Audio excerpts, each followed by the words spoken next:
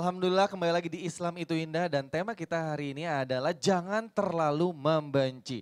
Jangan terlalu membenci. Mm-mm, betul. Karena Ustaz- kebencian itu merugikan diri kita sendiri. betul. Ustadz Maulana sama Ustadz Syam kita ngobrol lagi sama Susan boleh nggak? Susan. Apa?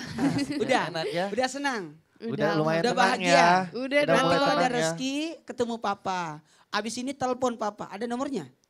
Ada tapi jarang dipakai gitu. Tel- usahakan aja. Telepon Oke. gimana pun caranya supaya silaturahminya tetap jalan. Kalau ya. nggak aktif hubungi Kino saja.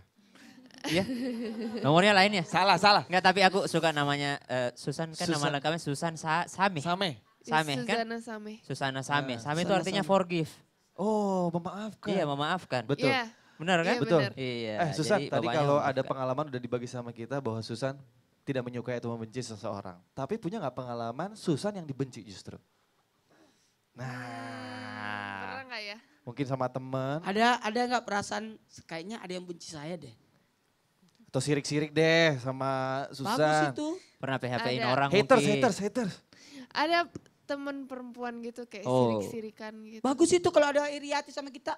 Berarti kita ada kelebihan. Berarti Wih. dia juga merhatiin. Iya, iya beneran. Bener, Kalau bener. ada orang benci sama kita iri hati, berarti kita punya kelebihan. Nggak Iya. mungkin orang benci iri sama orang jelek. Nggak mungkin kan? Bener. Aku aku iri sama dia, dia cantik sekali, kan? Nggak Terus? ada, aku iri dia ben- dia jelek, nggak ada itu. Betul, betul. Terus Susan ngapain? Udah tahu dia nggak suka sama Susan, Susan balasnya ngapain? Benci Ngapain? juga atau benci gimana? juga atau gimana? Enggak, aku aku diemin, aku cuekin malah sama aku disapa. Kalau misalnya ketemu, hai apa kabar? Gitu. Keren. Nggak, Beres doang ya? Beri salam Enggak, lah sama beneran. dia. Beres doang. Beri salam. Orang yang marah sama kita beri salam sama dia. Assalamualaikum. Salam. Assalamualaikum. Assalamualaikum. Waalaikumsalam. Ih keren banget. Lama-lama berubah itu. Betul. Beri salam aja. Itu ada kisahnya juga. Batu-batu aja kalau ditetesin air itu Betul. bisa bisa berlobang kan Iya. hati. Kalau lama-lama nggak dijawab, lum, lum, lum. Ah. Auzubillah minasyaitonirrajim. Waktu itu juga ada kisah. Rasulullah ya. Iya, kalau iya, lagi lewat iya. diludahi, Diludahin. begitu kita eh, Rasul lewat, nggak ada orang itu justru ditengok. Tengok. Luar iya, Rasulullah aja kan waktu itu ya, pernah dengar kisahnya. Oh. Eh, Rasulullah dikasih kotoran di depan rumahnya, Iya. tiap hari disiram, tiap hari disiram, ada lagi tiap hari disiram, hari terakhir nggak ada. Ternyata orangnya sakit. sakit terus dia Malah Nabi ya. pergi besuk. Betul. Ada nggak? Ada nggak yang benci terus eh, Hmm. Kiki Paril malah balas kebaikan? Ada sih, Ada ya. ada Inisialnya? temen. Janganlah, nggak enak. Tapi eh, dilupain aja. Maksudnya ya Dia udahlah. teman atau mungkin saudara? Temen, temen, Temen? temen. Dia benci banget sama Kiki Farel. Eh, sebenarnya terpengaruh dari temen lain Oh iya juga. benar Oh. benar. Benar benar. Nah, Biasanya gitu begitu. kan. Terus dulu dia sempet sempet benci juga cuman lama kelamaan ya udahlah gitu kan mungkin dulu dia hilaf gitu kan sekarang sih berteman lagi alhamdulillah Iya. Ayo, aku tidak punya musuh. Mm-mm. Lawan boleh ada, tapi musuh nggak boleh ada. iya Ayo. ya kalau saya memang alhamdulillah nggak punya musuh Eh, walaupun ada yang benci tapi kita harus tetap cinta sama mereka Tepuk tangan dulu buat. Luar biasa sekali ya. Oke, jamaah di mana pun Anda berada, sekali lagi temanya hari ini adalah jangan terlalu membenci. Kesimpulannya mungkin untuk tausiah-tausiah pada pagi hari ini Ustadz Syam. Asa an tuhibbu syai'a wa huwa syarrul lakum wa asa an takrahu syai'a wa huwa khairul lakum wallahu ya'lamu antum la ta'lamun. Boleh jadi yang kamu cintai itu itu yang buruk bagi kamu atau boleh jadi yang kamu sangat benci itulah yang terbaik untuk kamu. Wallahu ya'lamu antum la ta'lamun. Sesungguhnya Allah Maha tahu sedangkan manusia tidak mengetahui. Kenapa batas kebencian itu tiga hari? Mendiamkan orang tiga hari. Siapa yang lewat dari tiga hari itu berarti dia sudah apabila eh, mati tidak akan masuk surga, tidak akan mencium baunya surga. Apa maksud di sini? Itu pertanda manusiawi kalau orang marah, tapi jangan kelewatan dari tiga hari. Kenapa? Karena pasti besoknya, lusanya itu pasti sudah ada maaf.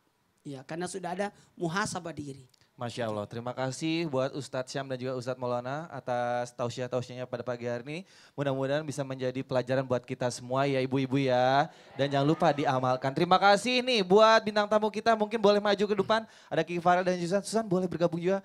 Mudah-mudahan mendapatkan pelajaran juga pada pagi hari ini. Dan terima kasih buat ibu-ibu yang ada di sini. Bapak-bapak juga terima kasih ya atas kehadirannya luar biasa ya. Dan terima kasih juga tentunya untuk jemaah yang ada di rumah kita. Besok ketemu lagi jam 5 subuh hanya di Trans TV di Islam Itu Indah. Akhir kata tentunya saya Kinos pamit undur diri. Wabillahi taufiq wal hidayah. Wassalamualaikum warahmatullahi wabarakatuh. Kita jaga hati yuk.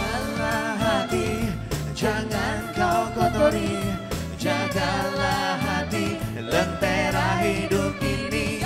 Jagalah hati, jangan kau nodai.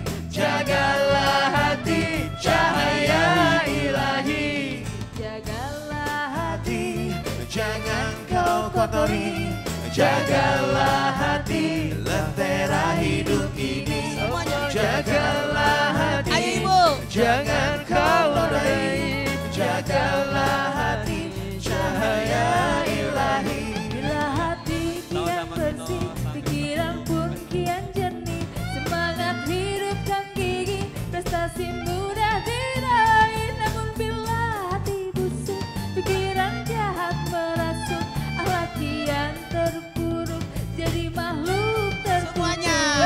Jagalah hati, jangan kau kotori.